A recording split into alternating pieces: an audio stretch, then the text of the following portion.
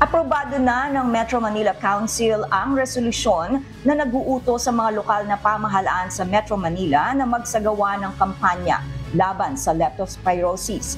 Kaugnay nito, sinabi ni MMDA Acting Chairman Attorney Don Artes na sa ilalim ng MMDA Regulation Number 24-003 ay pagbabawalan na ang mga bata at matanda na maligo at maglaro sa baha.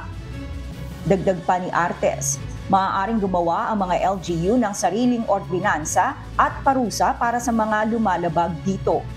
Pagtitiyak pa ng opisyal, buo ang suporta ng mga alkalde ng Metro Manila sa pagpapalaganap ng impormasyon tungkol sa leptospirosis.